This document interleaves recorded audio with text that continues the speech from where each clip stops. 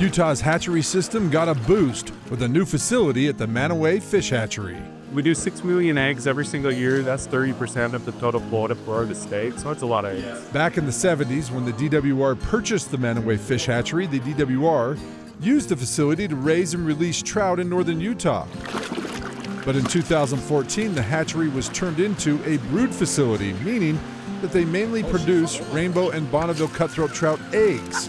This new $5 million addition will only improve their efforts. The cold water kind of makes it hard to grow fish really fast, but it's really, really good for egg development. So, um, what we do is just produce nothing but eggs. We ship those out to other hatcheries with the warmer water.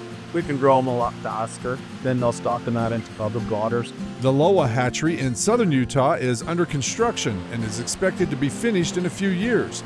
These new upgrades the DWR is working on will only strengthen Utah's ability to keep up with our growing population. And as Jared put it, I can memories when I get a time.